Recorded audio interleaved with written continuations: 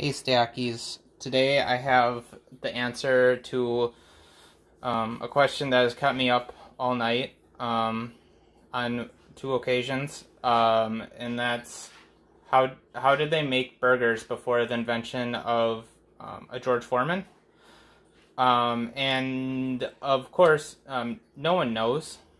but what I'm gonna do, try to do is I'm going to try to recreate it using recreate a burger using um, technology that was available from before um, George Foreman grills or uh, BGFG, um, as they say in the burger biz.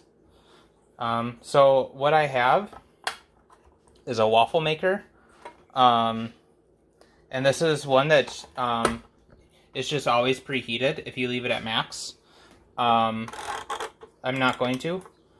Um, but what you need to do is um, you need uh, an oyster, um, an avocado.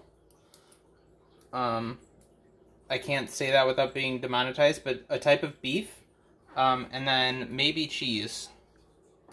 Um, so what you're going to want to do is you're going to want to um, spray some avocado on it. Um, and then what you're going to want to do is you're going to want to take about some of the, the hamburger meat. Um,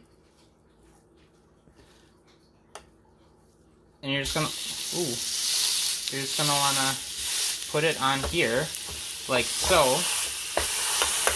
and then press it down, um, and then just let it sizzle for a little bit.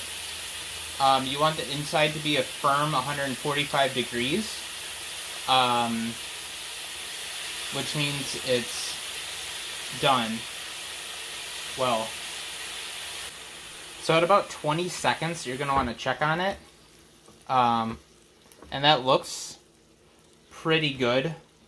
Um, obviously, I doesn't. I don't think it's done yet. Um, but uh, if you want cheese, what you can do is you can just go ahead and just like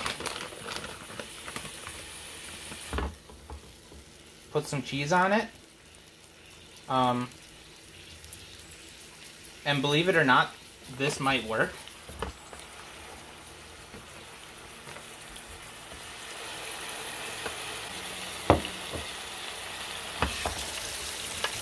And there it is.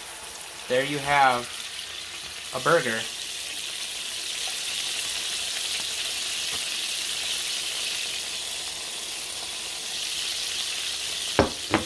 And then for the last and final touch, what you're going to want to do is you're going to want to put hamburger buns, um, but bun to bun, um, and you're just gonna put it in um, for a brief uh, second. It's got to stew in there for a little bit. Um, you gotta have steamed buns stewed. Um, that should be good. Um, and then, oh, that's hot. Um, that's not good.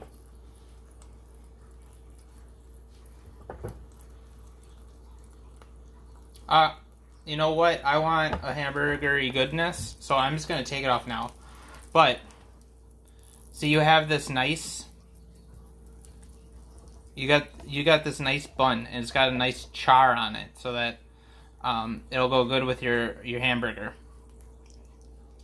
Um, thanks for watching, and I hope you learned a lot of historical lessons from this video.